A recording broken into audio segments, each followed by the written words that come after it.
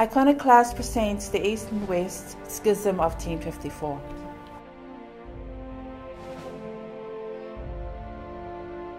I would like to tell you a story. A story that involves a fight between the east side and the west side. No, not the story of Biggie versus Tupac, but the schism between the Eastern Orthodox Church and the Western Roman Catholic Church that happened in 1054 AD. With any good story, there is always a backstory, so I will give you this before I give you all the juicy details about the schism. Differences of geography, language, the West spoke Latin while the East spoke Greek, and the many power struggles all had contributed to the alienation between the East and the West for many centuries. It was increasingly driven on by a gradual development of papal authority. The Eastern Church thought that this was in contradiction with its own tradition and that of the early Church. The Roman Church also did not approve of what the Eastern Church did at the Council of Chalcedon. They wrote the 28th Canon, which stated that since the city of Constantinople was honoured with the privilege of having the emperor and the senate within its walls, its bishop should also have special prerogatives and be second in rank after the bishop of Rome.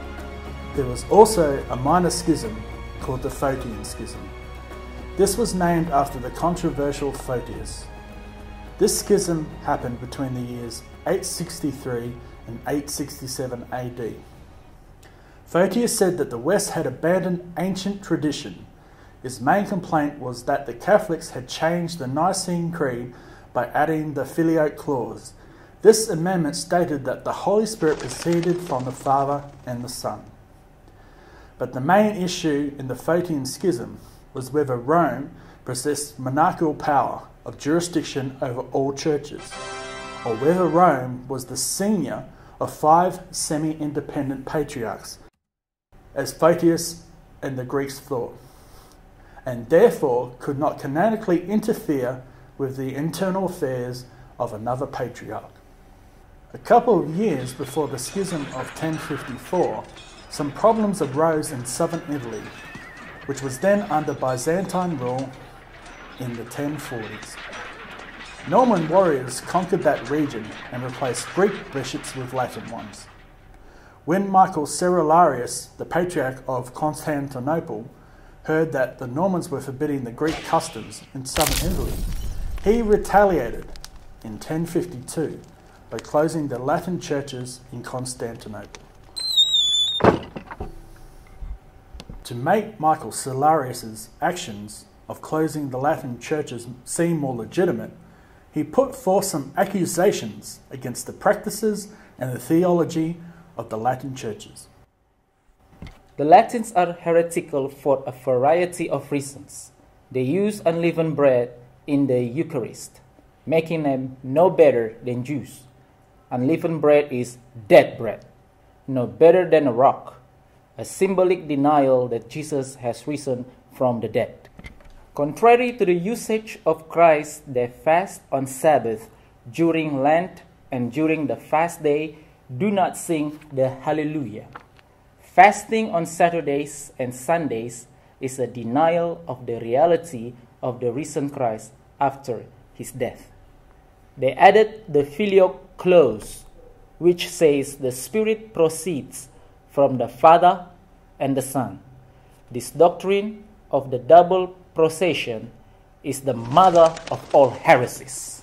The Eastern Church refuses to communicate with Latin clergy because they shave rather than wear beards. Wearing a beard has always been considered a necessity for Eastern clergy.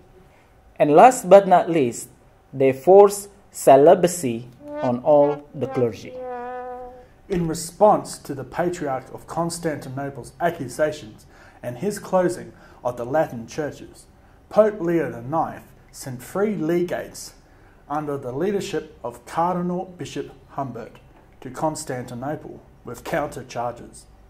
These legates entered the Church of Holy Wisdom on July 16, 1054, And as the clergy were preparing for the Mass in their customary way at the third hour of the morning, they placed the charter of excommunication upon the principal altar under the gaze of the people and the clergy who were present. These are some of the counter charges found in the excommunication. You are charged with simony because you have sold the gift of God. Michael has bought his office of patriarch and abuses of title. In the 11th century, simony was a very serious problem in the Latin Church. Humbert presumed that the problem was equally severe in the Greek Church, but in fact, it was not. Like Arians, you rebaptize those already baptized in the name of the Holy Trinity. The East baptized converts from other Christian churches when they seek admission to the Greek Church. The Orthodox Church has always held that baptism should ideally be conferred by a priest within that community in a triple immersion. The charge of rebaptism of other Christians, which the excommunication attributes to Arians, more properly should be directed against the Donatists, a 4th century church of North Africa. They demanded correct belief and worthiness in the minister for the sacrament to be valid.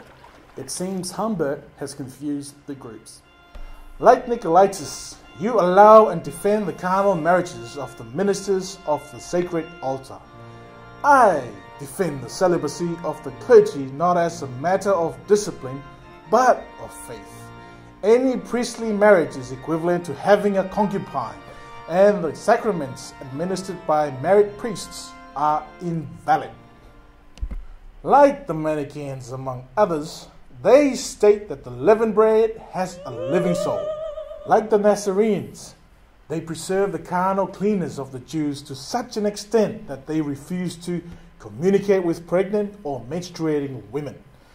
They grow their hair on their heads and grow beards, and will not receive in communion those who tonsure their hair and shave their beards according to the decreed practice of the Roman Church. They also neglect to baptize their children before the eighth day after birth. They refuse to allow women to communicate during their menstrual period and immediately after childbirth. It was a tradition in the Greek church to demand ritual purity of those who would communicate. This was based on the Hebrew scriptures that defined what made a woman impure, not morally, but on issues of worship. For these errors and many others committed by them, Michael himself, though admonished by the letters of our Lord Pope Leo, refused to repent. Furthermore, he denied us his presence in conversation, forbid churches to celebrate Mass, closed the churches of the Latins, and had persecuted the Latins everywhere in word and deed. By the authority of the Apostolic See, whose embassy we are performing, we thus subscribe to the following anathema which the most reverend Pope has proclaimed upon Michael and his followers unless they should repent. Whoever has stubbornly opposed the faith of the Roman Church and its sacrifice, let them be anathema maranatha, nor let them be considered a Catholic Christian, but a proselyte heretic. Let it be done, let it be done. After the excommunication was given, the legates departed from Constantinople. Michael, in retaliation, issued a counter excommunication of all the papal legates and their supporters. However, Pope Leo IX had died a few months before and did not know that the excommunication had been consummated. The schism between the East and the West churches still remains unhealed, although many attempts have been made for reconciliation.